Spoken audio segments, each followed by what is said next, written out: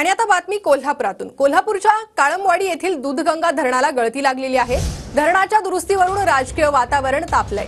गळतीची दुरुस्ती करण्यासाठी निविदा प्रक्रिया अडकलेली आहे तर धरणातील गळती वाढल्यानं परिसरातील गावं भीतीच्या छायेत आहे. निविदा प्रक्रिया रखडल्यानं महाविकास आघाडीने राज्य सरकारवर टीका केलेली आहे.